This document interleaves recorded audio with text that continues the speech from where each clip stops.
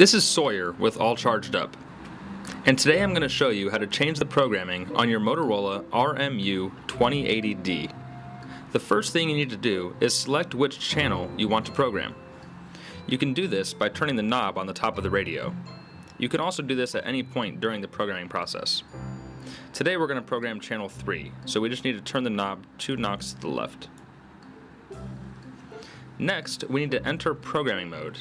To do this, all you have to do is press the push to talk button and side button 1 at the same time for 3 to 5 seconds while turning on the radio until you hear an audible voice announce the channel number.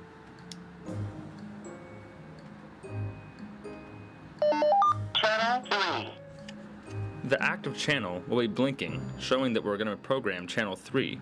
You'll also see PROG underneath that, indicating that we're in programming mode. The first thing we're able to change is the frequency. To do that, we just need to press the push to talk button one time.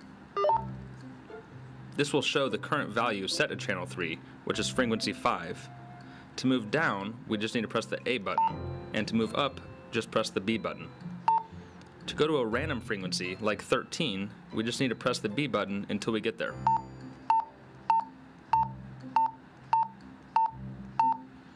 The frequency for channel 3 is now set to 13. Next, we can edit the code. To get there, just press the push to talk button one more time. We'll see the current code for channel 3 is set to value 1. Just like the frequency, A moves down and B moves up.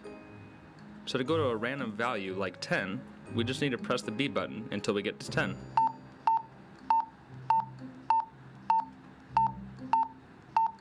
The code is now set to 10 for channel 3. To save our settings and return to idle programming mode, we just need to long press the push to talk button. The beep indicates that we've saved our settings.